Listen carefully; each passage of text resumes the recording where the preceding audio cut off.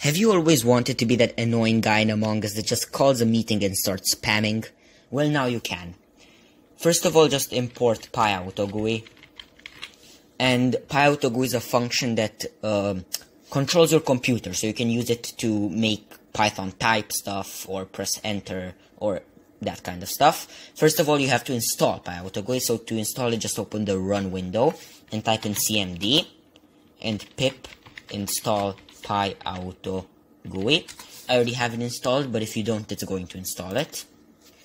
And then um, we type for i in range, for i in range 100. And now we start really spamming. So sleep every second, even though Among Us has a chat timer of 3 seconds. So to do that, we have to import time. So from time, from time import sleep. Uh, so every three seconds is actually it's actually going to type this, but just one second. Uh, so pyautogui dot typewrite, and here just type whatever you want the bot to spam. Let's say just vote red, red sus. And uh, now we want pyautogui to press enter to send the message. So pyautogui dot press enter and every second. Okay let's test it out. So just control s save and let's open among us.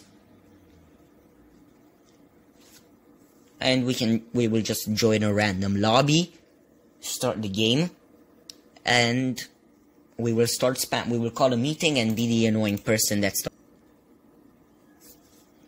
Anyway, we don't have to uh, test it out in a meeting. Let's just test it out now. So F5 run. Oh, uh, yeah, that's a 1. Sorry, my bad. We have to, to make it an I. So for I in range. And now let's test it out. So here. As you can see, it is spamming. I'm not typing anything. It's just typing every second vote red and clicking enter. Uh, actually, maybe we should make it 3 seconds because uh, Among Us has a chat time of 3 seconds. Anyway, we can just close it because it's starting to get annoying. And yeah, let's leave. So now you know how to make an Among Us spam bot. We can change this to 3 seconds so it doesn't type it 3 times. And the good thing about this, the main reason for this is to so you can type longer stuff because on PC you can't paste in Among Us chat. So this is the way you can do it if you want to type very, very long stuff. But remember, there's a 100 uh, letter max number, so only 100 letters. And that's it. Thanks for watching, and I make a lot of uh, Python tutorial videos, so if you enjoyed you uh, and choose to stick around, please subscribe. Goodbye. Have you always wanted